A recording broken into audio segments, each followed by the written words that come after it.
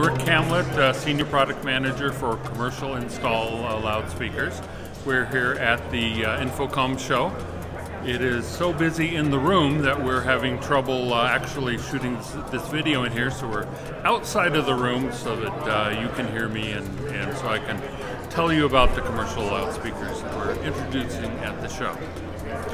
Um, we're introducing five new types of commercial loudspeakers. Uh, there is a slim, low profile um, set of speakers that are only uh, less than 100 millimeters uh, extension from the wall. Uh, they match up with our Control 12 and 14 ceiling speakers so you can intermix them in systems. They are winners of the Red Dot uh, Design Awards, which uh, for elegance in also introducing a high power pendant speaker, the Control 68 HP. Uh, it is 250 watts. It is uh, uh, constant directivity coverage, just like all the other uh, Control 60 pendant speakers, but it is higher power, about 5 dB higher than any other of, of our um, pendant speakers.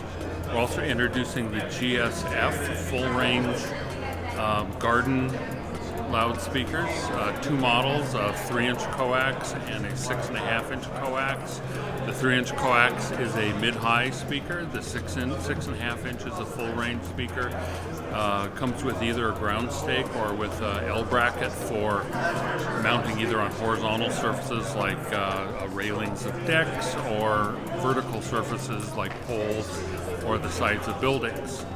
Uh, matching with those are the GSB in-ground subwoofers. They take a little bit of excavation to put them into the ground, but they're very uh, um, low profile. They're uh, hidden when uh, in, in the landscape.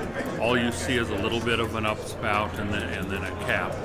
So if it needs to uh, uh, be very discreet, those are good subwoofers. And then the last one I'll mention is the Control 89MS, which is an above ground landscape subwoofer and that um, uh, is a companion to our Control 85M and 88M mushroom speakers. So it's in, in the same mushroom uh, type cabinet uh, above the ground, but it is minimal excavation of, of the space.